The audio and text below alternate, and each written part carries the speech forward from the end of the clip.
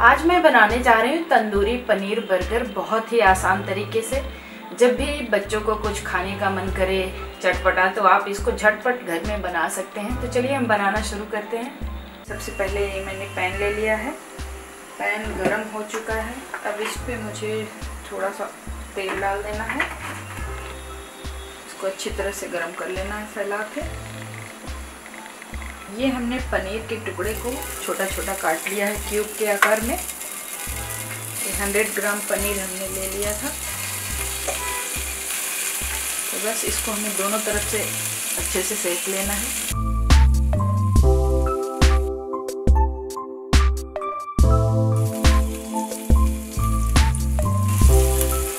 तो ये देखिए, दोनों तरफ़ से हो गया है। अभी इसको हम निकाल लेते हैं। तो अभी सेम पैन मैंने वापस ले लिया है, इसको गर्म कर लिया है। अब इसमें मैं थोड़ा सा बटर लगा दूँगी। और ये हमने लिया है बर्गर वाला बन तो इसको थोड़ा सा सेक लेंगे हम। काट लिया है इसको मैंने बीच से। आप इसकी जगह पे रोटी भी ले सकते हैं, अगर हेल्दी बनाना चाहते हैं तो रोटी भी ले सकते हैं।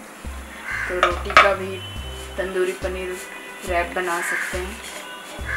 तो मैं आपको दोनों ही बना के दिखा देती हूँ। तो रोटी में भी आप इसको आराम से बच्चों को टिफ़िन वगैरह में दे सकते हैं। तो ये देखिए, इसको मैंने सेक लिया है। बस गैस को ऑफ़ कर देना है। ये हमारी तैयारी हो चुकी है। तो चलिए अभी हम बनाना शुरू करते हैं। ये हमने जो पनीर को फ्राई करके रखा, अब इसमें मैं डाल रही हूँ एक चम्मच के करीब मैंने लिया है तंदूरी सॉस। इसको अच्छे से मिला लेंगे हम। पूरा पनीर के ऊपर कोट कर लेंगे अच्छे से। तो ये देखिए, पनीर तो तैयार हो गई है। अब इसको हम रख देते हैं साइड में। और ये हमने जो बर्गर रखा, सेक के, बर्गर ले लिया। अब इसके ऊपर से मैं लगाऊँगी एक चम्मच मेयोनीज। ये बर्गर बच्चों को बहुत ज़्यादा पसंद आता है। और इसके ऊपर से थोड़ा सा टोमेटो केचप भी लगा लेना है। अगर आपके बच्चों को पसंद है तो लगाइए, नहीं तो फिर कोई बात नहीं।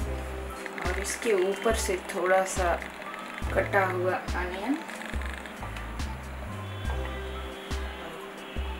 टोमेटो। सब्ज़ियाँ आपको जो पसंद है उस हिसाब से लगा सकते हैं। अब बस इस पे जो हमने पनीर को रखा, ये तंदूरी पनीर इस पे जाएगा अभी।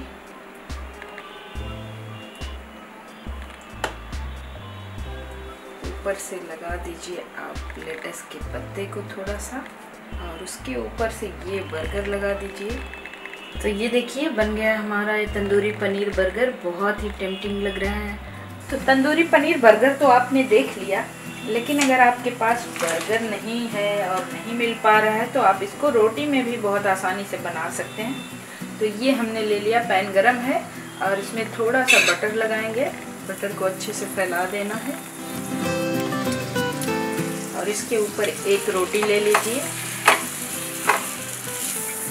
और इसको अच्छे से सेक लेना है हमें। बटर से। रोटी तो हमारी पहले से ही पकी हुई है। थोड़ा सा बटर इसमें लगा लेना है बस। तो बस गैस ऑफ़ कर देना है। तो रोटी पे हम लगाएँगे एक चम्मच मेयोनीज। अच्छे से फैला देना है। थोड़ा सा केचप लगा देना है।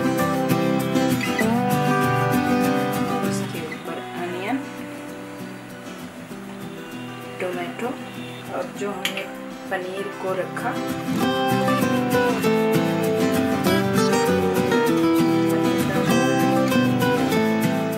बस ऊपर से लेटस के पत्ते को आप लगा दीजिए। अगर आपके पास है, नहीं है तो फिर ऐसे ही इंजॉय कीजिए। वैसे भी बहुत यमी लगेगा, क्योंकि इसमें पनीर है। और बस तो इसको क्या कीजिए कि आप यहाँ से हाफ़ फोल्ड कर लीजिए। और फिर इस तरफ़ से और दूसरी तरफ़ से। बस आप ले लीजिए एक फॉइल पेपर फॉइल पेपर में इसको रैप कर दीजिए। और ये लीजिए बन गई हमारी तंदूरी पनीर रोल। ये बहुत ही यमी है, रोटी के साथ भी बहुत ही यमी लगता है। तो आप दोनों तरीके से जो आपको पसंद आए वो ट्राई कर सकते हैं। तो ये लीजिए, बन गया हमारा तंदूरी बर्गर और तंदूरी पनीर रैप भी आप देख सकते हैं। खाने में बहुत ज़्यादा टेस्टी लगता है। तो अगर आपको ये वीडियो पसंद आया हो तो लाइक, शेयर, सब्सक्राइब ज़रूर करना। मिलते हैं आपको एक न्यू रेसिपी के साथ। तब तक के लिए बाय बाय